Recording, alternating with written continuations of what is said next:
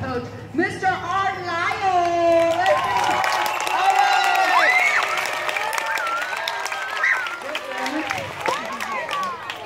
Hey, uh, just real quick, I'm not going to spend too much time. I they want to go through one by one with all the kids, I, I don't think that's our style. Family. I didn't have any individuals this year. So I'll get to them. I'll introduce them as a family. Uh, just real quick, I started playing football when I was eight years old. So you guys got a ringer. It was it was an easy transition.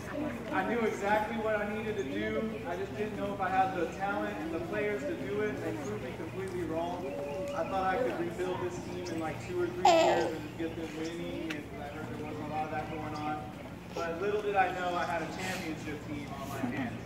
Uh, that is not done without a lot of support from teachers, parents, admin, everybody stepping in.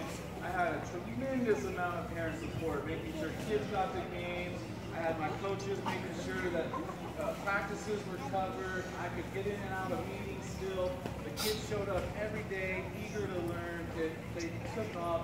Guys, if I learned as much football this year as that group of individuals did, I would be calling an agent right now to enter the NFL.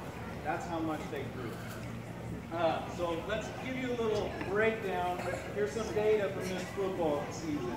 So they, they won seven games. Let's hear for that. Seven games.